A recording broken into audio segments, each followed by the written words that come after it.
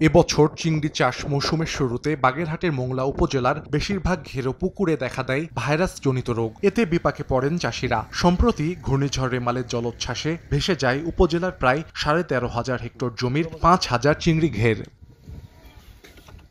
চাষিরা জানান প্রায় সাড়ে ষোলো কোটি টাকার ক্ষতির মুখে পড়ছে মোংলা উপজেলার মৎস্য চাষী ও ঘের মালিকরা। ক্ষতি কাটিয়ে উঠতে সরকারি সহায়তার দাবি তাদের। জল বৃষ্টিতে সবই বের হয়ে গেছে তারপরেও আবার মাছ মরে যাচ্ছে। ডুবে সব একাকার হয়ে গেছে আমরা এখন সর্বসান কেউ কেউ দুটো সাইডে ছাড়িয়েছে আমরাও ছাড়িছি সেগুলো আবার বৃষ্টিতে তলায় কদ্দূর গেছে আছে। সবাই মানে মাথায় হাত।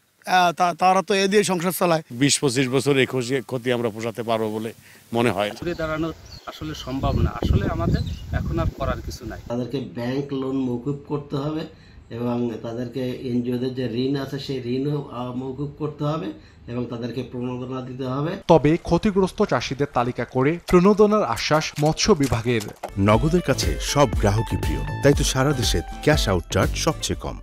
ঊর্ধ্বতন কর্তৃপক্ষকে সবসময় জানাচ্ছি এবং আমাদের ট্রেনিং দেওয়া মাঠ পর্যায়ে ভিজিট করা, এগুলো সব সময় আমাদের কিন্তু চলমান রয়েছে। ব্যাংকগুলোকেও আমরা বলেছি যেন তারা সহজভাবে কম সুদে যেন তারা লোনটা দিতে পারে। মোংলা উপজেলায় ছয়টি ইউনিয়নে আট হাজার পাঁচশো চিংড়ি ঘের ও পুকুর রয়েছে। এখান থেকে বছরে প্রায় নয় থেকে দশ হাজার মেট্রিক টন চিংড়ি ও পনেরো থেকে বিশ হাজার মেট্রিক টন অন্যান্য মাছ চাষ করা হয়। সময় সংবাদ মোংলা।